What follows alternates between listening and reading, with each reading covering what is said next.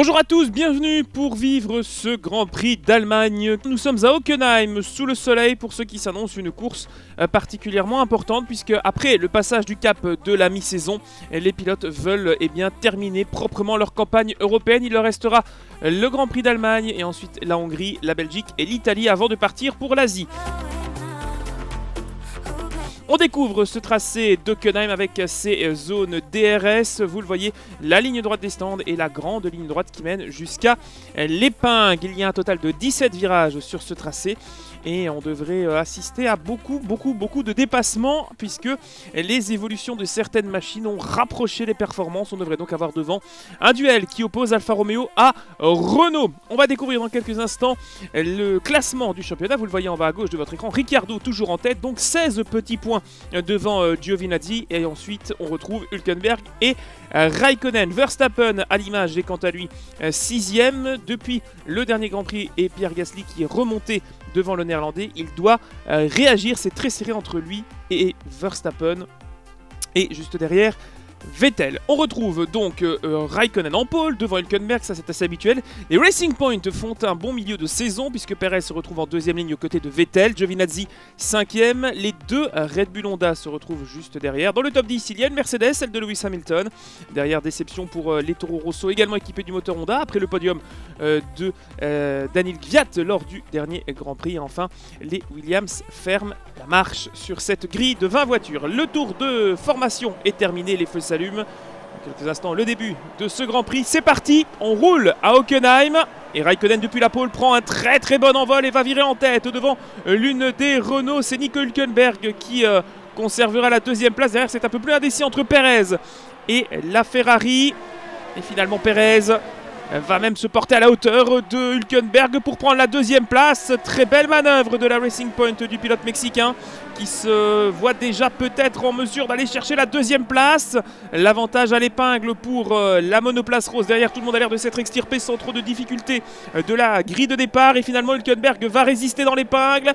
Et ça restera à l'avantage d'Hulkenberg. Drapeau jaune, évidemment, peut-être quelques morceaux de carbone qui ont volé derrière euh, dans l'épingle. Hülkenberg conserve donc sa deuxième place devant euh, Perez, la première des Red Bull. Raikkonen a déjà filé deux secondes devant ses petits camarades. Derrière Giovinazzi, l'équipier et euh, champion du monde en titre de Raikkonen, arrive dans le stadium avec euh, juste derrière côte à côte Vettel devant son public à l'attaque avec Verstappen. La Ferrari qui a déjà passé sa sœur puisque Leclerc est derrière avec la deuxième italienne.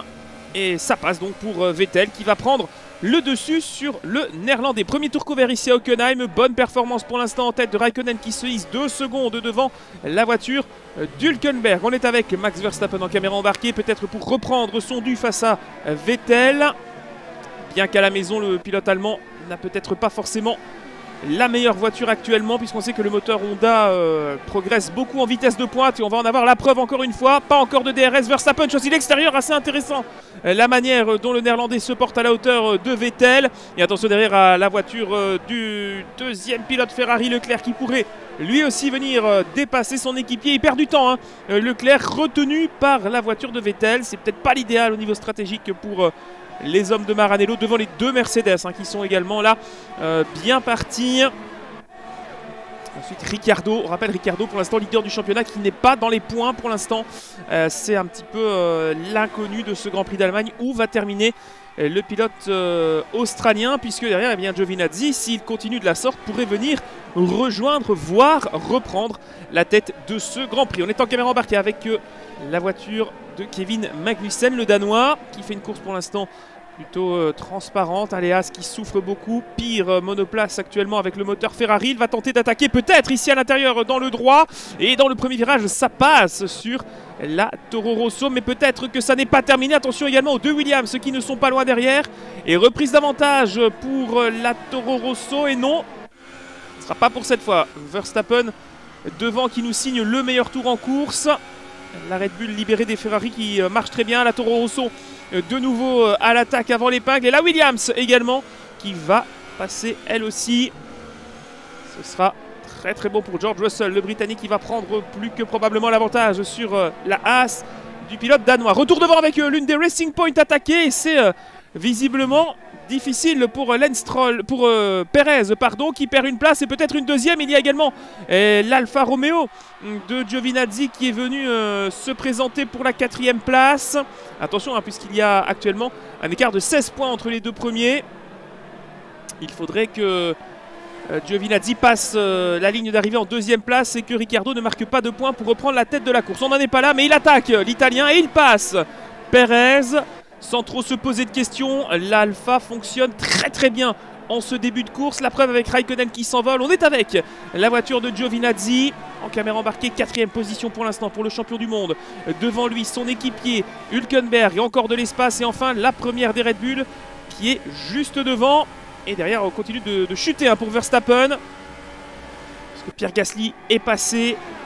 Ainsi que la deuxième Alfa Romeo. Et maintenant, la Racing Point. Les deux Ferrari toujours derrière Verstappen.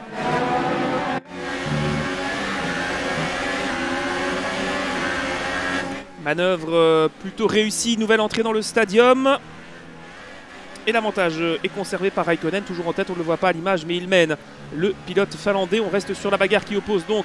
Hop, attention, un ralenti, euh, peut-être un souci. Et oui, on perd du terrain. On est au ralenti du côté de Sergio Perez avec la Racing Point. Il y a eu un problème sur la monoplace.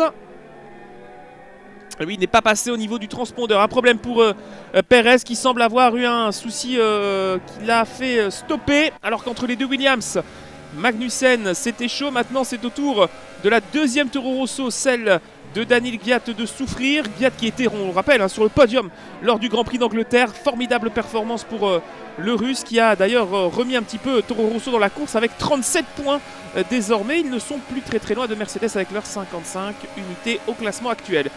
Ça va passer pour Robert Kubica et pour George Russell qui vont tous les deux prendre le dessus sur la Toro Rosso alors que l'on revoit Sergio Perez qui a d'un coup perdu la puissance et la drivability de sa monoplace et qui va donc s'arrêter. Premier abandon de ce Grand Prix d'Allemagne pour le Mexicain, c'est dommage. La Racing Point se comportait plutôt bien. Et on arrive dans les stands pour la voiture de Kimi Raikkonen. Le leader est le premier à opter pour la pit lane. Il va chausser des pneus à bande jaune, les pneus tendres. Un seul arrêt comme d'habitude prévu lors de ce week-end euh, de Grand Prix. Il quitte ses ultra tendres et c'est un arrêt parfaitement exécuté. Ça n'est pas le seul. On a également l'arrêt au stand de Charles Leclerc, d'une Mercedes, de forcément la voiture de Lance le Canadien qui est le dernier représentant de l'équipe Racing Point. On a donc eu Bottas au stand, arrêt également de Kevin Magnussen. Oui, tout le monde passe dans la voie des stands. Une McLaren également. Il y a eu changement de museau pour la voiture de Daniel Gviat. Non, c'est Alexander Albon. Changement de museau.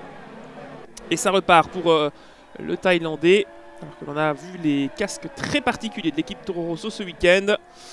Et ici, c'est Giovinazzi qui euh, s'en prend, semble-t-il, à l'une des Toro Rosso, des Red Bull, pardon, ce serait bien Pierre Gasly. Effectivement, Pierre euh, qui euh, résiste pour l'instant à Giovinazzi, pas encore d'arrêt au stand pour ces pilotes-là. Seul Raikkonen a stoppé. On a donc ici la lutte pour la provisionnement deuxième place, provisoirement deuxième place prévisionnelle, on va dire, de ce, de ce Grand Prix, puisque la stratégie euh, va changer. Et on continue, on prolonge l'overcut pour euh, la deuxième Alfa Romeo. Retour dans les stands pour euh, l'Allemand Nico Hülkenberg à domicile qui pourrait faire un podium. Ce serait bien pour l'écurie Renault. Troisième du championnat du monde, Hülkenberg devant Kimi Raikkonen. C'est important pour la suite. L'arrêt parfaitement exécuté également du côté de chez Mercedes pour Lewis Hamilton. L'arrêt de Daniel Gviat qui repart également. Romain Grosjean, le français. Lando Norris, le britannique, qui sera la deuxième McLaren à recevoir des gommes neuves. Très très bel arrêt du côté de chez McLaren. Très très peu hésité. On retrouve la tête de course. Et depuis l'hélicoptère, la voiture de notre euh, leader actuel. Antonio Giovinazzi qui est donc toujours au commandement. Pas de ravitaillement pour lui. Est-ce que son overcut va fonctionner? On se rappelle en France euh, qu'avec la safety car, il avait été euh, totalement piégé, ne rentrant pas à temps. Il offrant la victoire à son équipier. Et ça rentre pour l'Italien. Attention tout de même à respecter la vitesse dans les stands. 80 km/h. Et donc on devrait retrouver en tête, je crois, l'une des Mercedes qui n'a pas encore ravitaillé, je crois. J'ai pas vu de qui il s'agissait, mais pour le reste, L'ensemble du peloton a stoppé, hormis peut-être Daniel Ricciardo. Ça repart. Effectivement, on va repartir un petit peu plus loin pour euh, le pilote italien. Il va ressortir entre les deux Ferrari. Attention, derrière Charles Leclerc, le monégasque va peut-être prendre le dessus. Et Vettel aussi. Et du coup, là, on est en lutte pour euh, des points importants. La quatrième position. Synonyme de 12 points peut-être pour euh, le meilleur des trois pilotes à l'image. On est avec Vettel, sixième. Et l'attaque de Giovinazzi, à peine sorti des stands. Et il repasse devant les deux Ferrari. Blocage de roue pour l'Alpha. Course pour l'instant parfaitement exécutée du côté de Alfa Romeo. On a repris un petit peu l'avantage euh, avec euh, Giovinazzi. On reste en tête alors qu'ici ce sont les deux Mercedes qui s'expliquent. Bottas à l'intérieur, Hamilton à l'extérieur. L'avantage aux Finlandais au moment d'atteindre le troisième partiel de ce circuit d'Hockenheim. Toujours euh, très serré entre les deux Mercedes. Depuis le début de saison, ils ne sont pas aux avant-postes mais ils s'expliquent. Hein. On peut ainsi considérer que les deux pilotes tirent parfaitement le maximum de leur monoplace. À l'image désormais l'explication entre la Toro Rosso et la euh, Red Bull. Très très chaud. Encore une fois, l'aspiration et le DRS vont aider peut-être le néerlandais à prendre euh, une option sur euh, la position de son adversaire. Il est pas mal. Devant, ça déboîte également pour l'une des Renault qui va attaquer les deux Mercedes. Est-ce que ça va passer? On est sur la caméra embarquée d'Alexander Albon.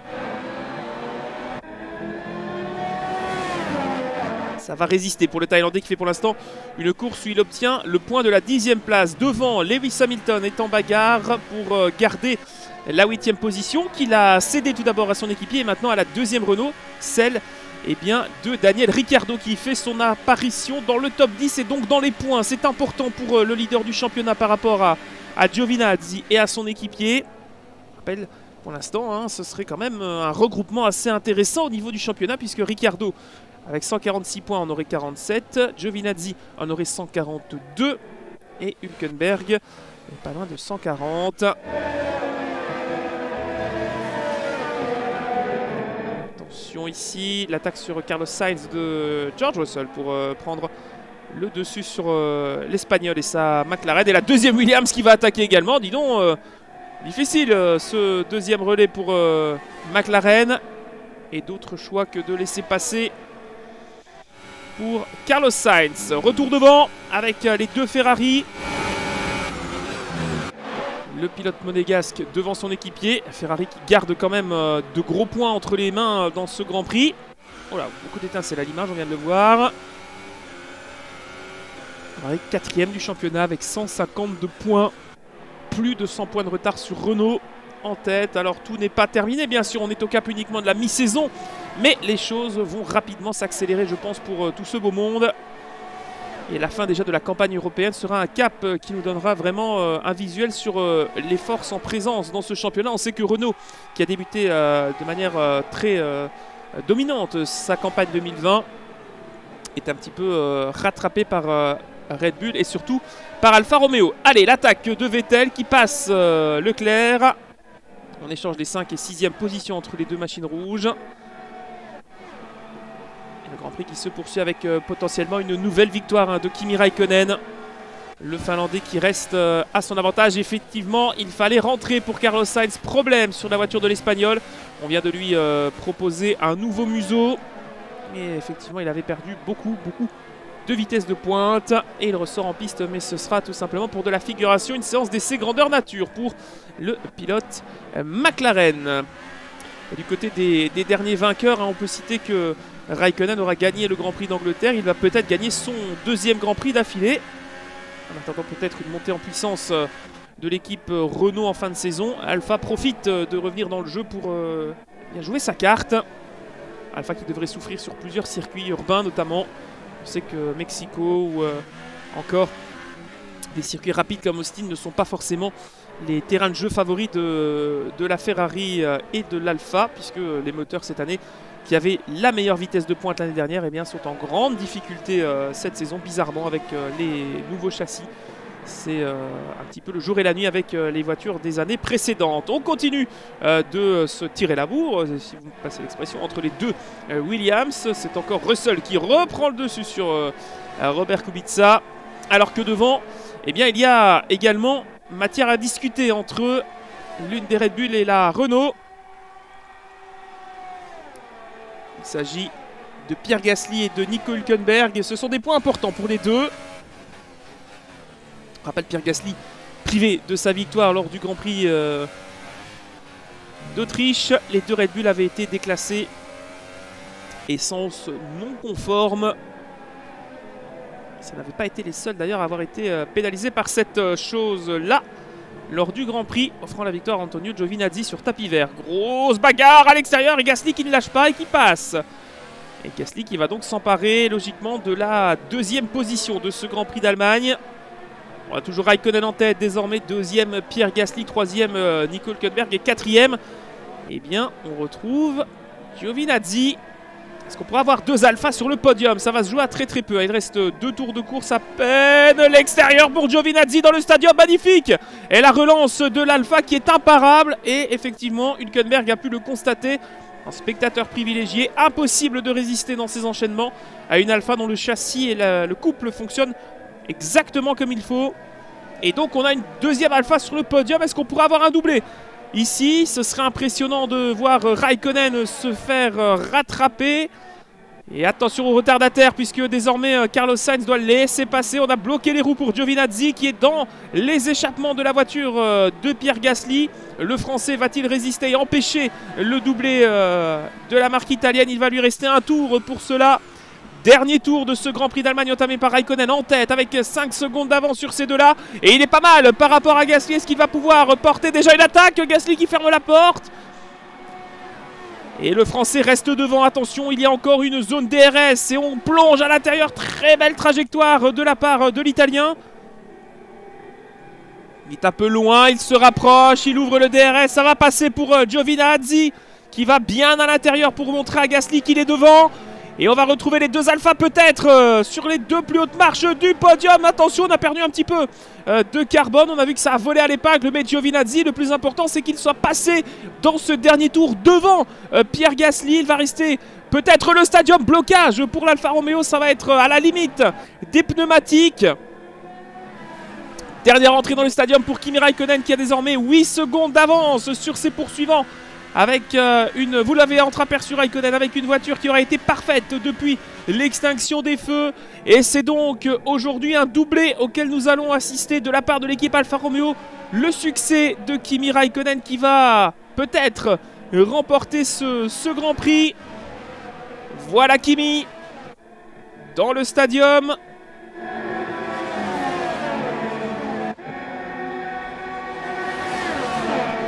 Et l'entrée dans le stadium maintenant avec 8 secondes de retard pour euh, la voiture de Giovinazzi.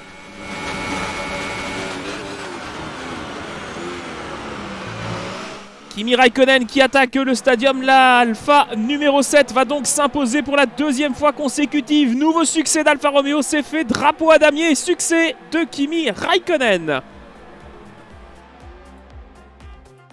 Et on est satisfait également du côté de chez Alpha. Gros retour de Giovinazzi sur ce coup-là. Frédéric Vasseur qui fait carton plein au classement euh, constructeur. Très très belle démonstration euh, de résistance de Raikkonen et de euh, de persévérance de Giovinazzi. Raikkonen vainqueur du Grand Prix d'Allemagne. C'est fait. Deuxième position euh, pour euh, son équipier. Et le troisième euh, emplacement du podium reviendra à Pierre Gasly, le français, qui aura tenu jusqu'au dernier tour presque.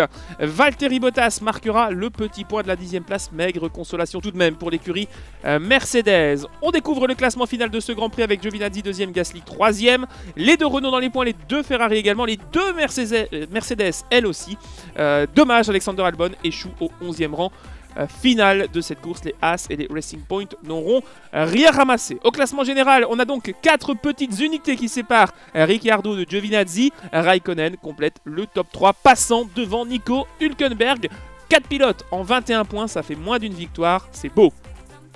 Au classement général, des constructeurs 289 points, 6 petites unités d'avance pour Alfa Romeo face à Renault. Le duel de la saison est désormais bien engagé. Le podium de ce Grand Prix d'Allemagne, 11e manche de la saison avec Kimi Raikkonen et Antonio Giovinazzi, vainqueur du week-end. Alfa Romeo relance complètement euh, ces deux pilotes. On va donc euh, se donner rendez-vous au Hungaroring pour la 12e épreuve, un week-end qui sera classique sans problème de son sur les captures. Je m'en excuse encore. Merci à tous pour votre attention. N'hésitez pas à partager et à suivre cette carrière. Les petits likes font toujours plaisir. À la prochaine. Ciao.